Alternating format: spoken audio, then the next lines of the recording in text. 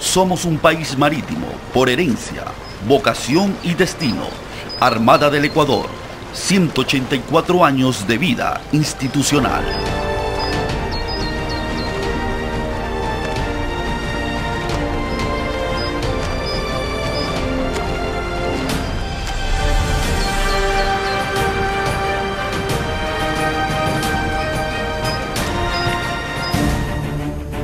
La Armada Real Española tuvo la misión de mantener el dominio de los mares y dar protección a las líneas de comunicaciones marítimas en los diferentes territorios de ultramar que constituían el Imperio Español. Fuerza naval, hoy te expreso mi amor.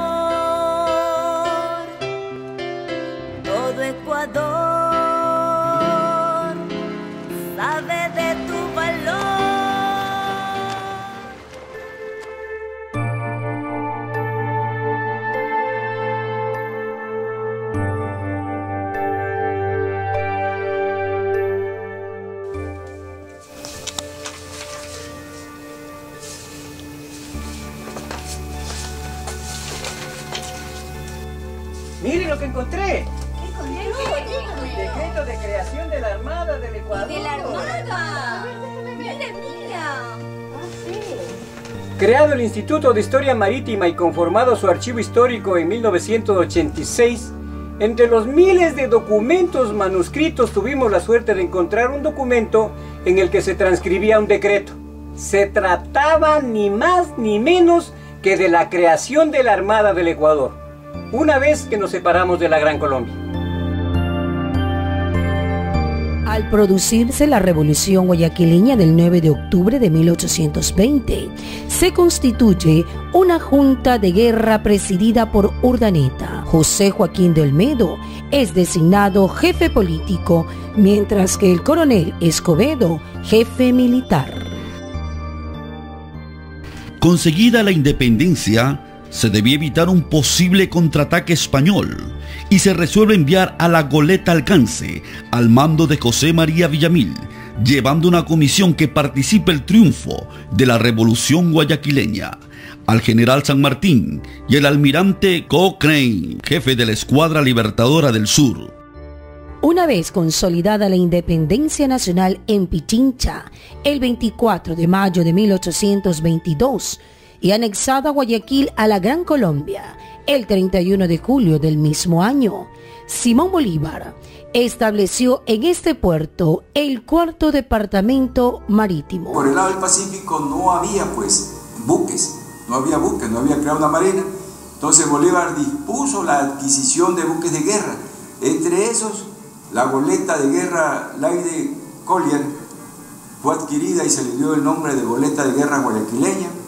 Se adquirió el bergantín Chimborazo y la corbeta Pichincha. Y se formó la primera escuadra que se la puso al mando del capitán de navío Tomás Chalerray. Había nacido la Armada. Es más, el, el 9 de octubre de 1822 se creó la Escuela Náutica, que es como se llamaba la Escuela Naval en aquellos tiempos, para la formación de jóvenes como oficiales de marina. Posteriormente, el 20 de mayo de 1825, el general Francisco de Paula Santander decretó la creación de dos compañías de infantería de marina destinadas a Guayaquil, necesarias para el cumplimiento de tareas específicas en épocas conflictivas. Hay que recordar que a inicios de 1827 el Departamento Marítimo pasó a denominarse Apostadero de Marina de Guayaquil, al mando del ya contraalmirante Juan Irigo. Desde ese año existía la amenaza de una conflagración con Perú por efectos de sus planes y maquinaciones para anexar los departamentos de Azuay y Guayaquil. El 1 de agosto de 1828, Iligur indica al general Flores que la corbeta peruana libertad bloqueaba el Golfo de Guayaquil interceptando a cañonazos todos los buques que entraban al río Guayas. Por ello se despacha a la goleta guayaquileña y a la corbeta Pichincha, fuerza comandada por el capitán de navío Thomas Wright, a fin de exigir explicaciones. El 31 de agosto del mismo año se produce el combate naval de Malpelo, donde la guayaquileña triunfa sobre la corbeta peruana Libertad cubriendo de gloria a nuestra nación. Cuando eh, se separa en 1830 el Ecuador de la Gran Colombia, ya se había separado Venezuela, existía este departamento marítimo al mando del general Tomás Charles Ray. Dos años después, el Congreso Constitucional del Ecuador decide eh, decretar la creación de la Marina Militar en el Ecuador, con el nombre de Departamento Marítimo en el Ecuador. ¿Pero por qué lo hacía?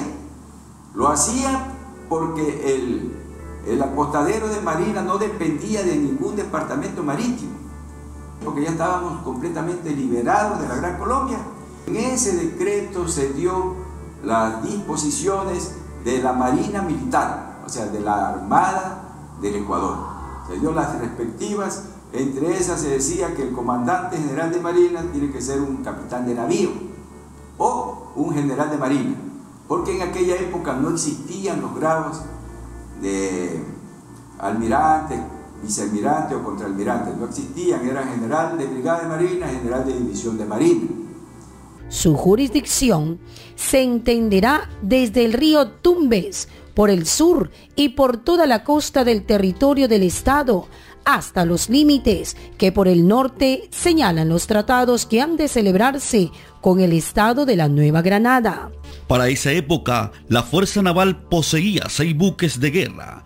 Su buque insignia, la fragata Columbia, de 62 cañones al producirse la guerra que se llamó de los Chihuahuas desde 1833 hasta 1835 entre Flores y Rocafuerte. Lamentablemente, la Armada participó dividida en dos. Finalizar el conflicto, la Armada se fortaleció y se unificó bajo un solo comando.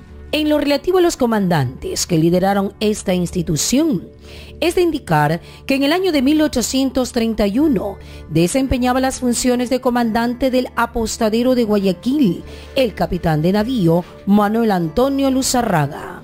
Y en 1832, el capitán de navío Tomás Carlos Ray, siendo el último jefe naval que tuvo dicha denominación pues en lo sucesivo el apostadero de Guayaquil se denominó Departamento Marítimo del Ecuador, como hemos detallado, y ejercería el cargo de comandante general de Marina el general de Marina Juan Ignacio Pareja y Mariscal, quien lo haría hasta el año de 1834.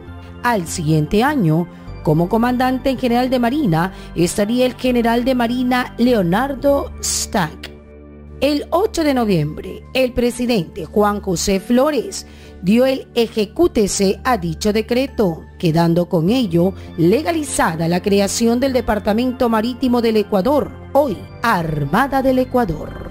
Nos atrevemos a decir que esta es la génesis de la Armada ecuatoriana.